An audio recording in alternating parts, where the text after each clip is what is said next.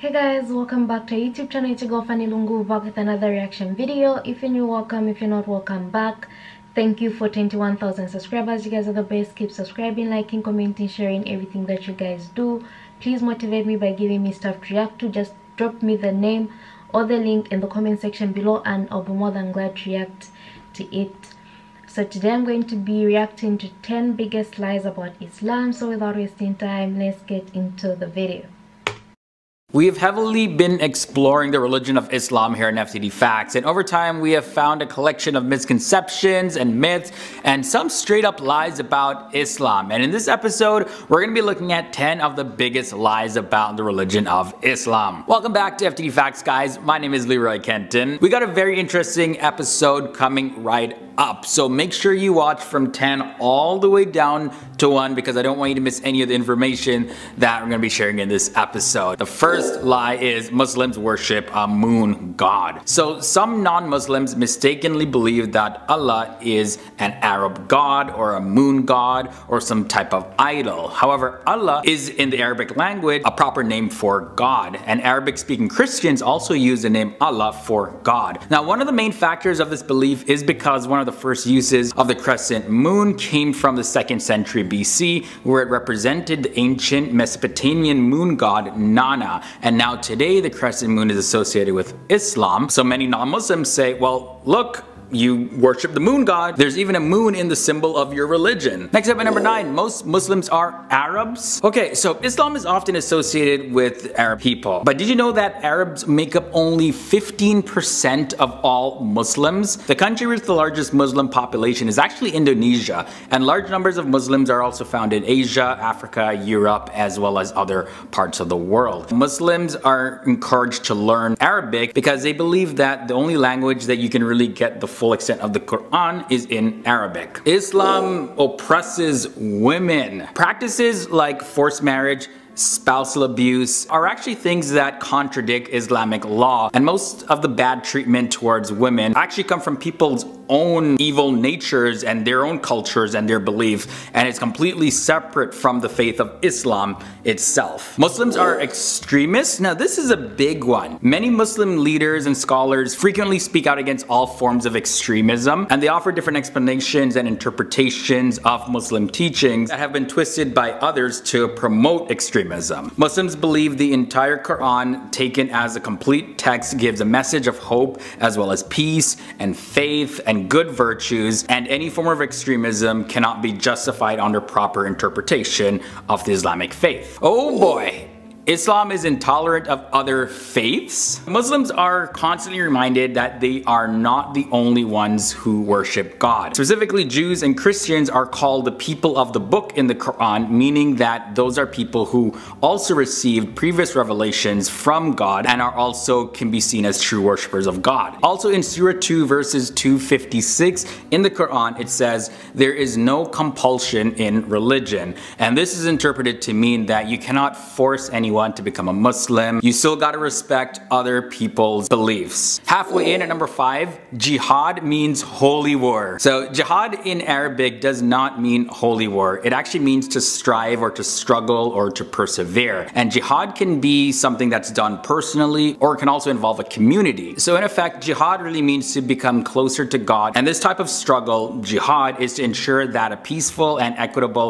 community still continues to exist. Of course, self-defense is acceptable to protect yourself and your community from any sort of like dangers. However, any form of offensive aggression is prohibited in Islam. Alright, number four, Islamic prayer doesn't really have any meaning. Most people now know that Muslims are to pray five times a day. And now in Islam, there are several benefits to prayer. The daily prayers help keep Muslims' minds on God and it helps Muslims to remember the Quran because they recite passages of the Quran, as well as it's a time to go before God to express thanks, to ask for forgiveness, to look for guidance in your life. So there's a whole lot of meaning for Muslims when it comes to prayer. Alright, number three, Jesus is completely irrelevant in Islam. That's actually not true. Jesus, however, is revered as a prophet and the Messiah in Islam. The Islamic faith believes that Jesus will return as a Messiah Messiah and defeat the Antichrist. This view is also very similar to the Christian view. The only difference is that Muslims don't view Jesus as the son of God, he's just seen as a prophet when you compare it to the Christian faith. Alright guys, we got two more left. So the crescent moon is a universal symbol of Islam.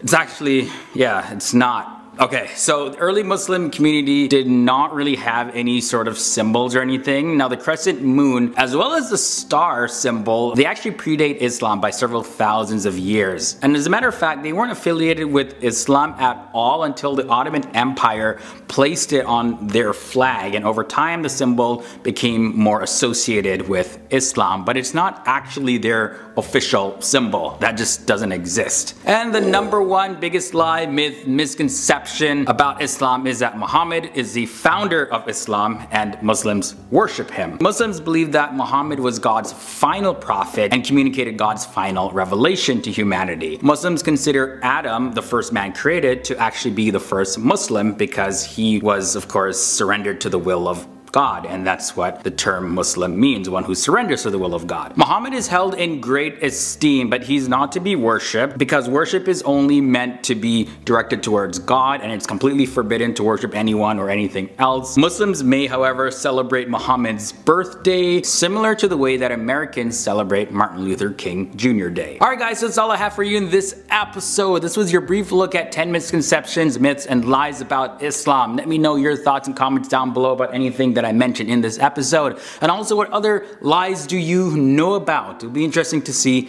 what you guys comment below. And don't forget guys, I take requests on FTD Facts. So if you have any suggestions for future videos, also put those below as well. Now for all you amazing, awesome overachievers who made it to the end, here's another video that you definitely want to check out. Also, my social media links are below in the video description section so you can follow me over there as well. And if you haven't done so already, hit that subscribe button, ring that bell to join the FTD Facts family and keep up to date with our daily episodes. Okay guys, you have been super awesome. I can't wait to see you in the next episode. A big shout out to the FTD Facts and how they compile uh, their videos, their facts. Um, it's interesting that all these myths exist, but the beauty is if there's anyone Muslim out there, I always say, you know what, come out and explain to someone how that that myth is just ridiculous.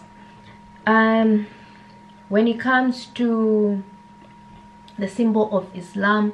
So what exactly is the symbol of Islam? Because people have seen the use of the moon and the star together. So how, yes, the Ottoman Empire used it on their flag, but then how did it find itself in Islam? That would be something interesting. And another thing was Muslims worship a moon god. Where did this story come from? There's always some um, some information as to where these things are coming from. I don't think they worship a moon god, but what's the story behind this? Why is someone saying Muslims worship uh, the moon god? And what's the moon god in the first place? You know, the one that and the other one that speaks about Islam oppressing women. Um, we're all coming from different backgrounds, different cultures, different traditions. Of course, what we see as oppression to them they think it's not. What they see as oppression to us they we think it's not you know. It differs from this person the fifth person hundredth person. Everything is going to be different. And um of course there's all these globalizations. We're trying to mix cultures here and there and speak about freedom of this and that.